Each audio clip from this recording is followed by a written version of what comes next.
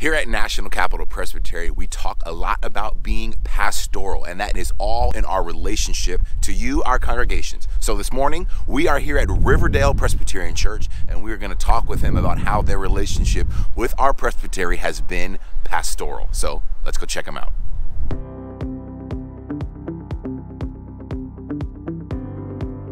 my experience, and certainly in, our most recent uh, circumstances with our current pastor, uh, Lucy Bowerman, has been one where it's clear that strong relationships between a local church pastor and a congregational pastor and connections with the resources provided at Presbytery are very dynamic and really give a sense for support, for education, for opportunities to take training that's pertinent to circumstance and situation, as well as get feedback. I have seen that firsthand. I've been able to see in our current experience, you know, really the the positive dynamic that that brings. And she has been, I think, a role model for us in that relationship. She has reached out, taken advantage of, and pursued those types of connections, and it's been really, in my view, just been um, very productive. Well, that was a quick look inside Riverdale Presbyterian Church. The way they see their relationship with our presbytery as pastoral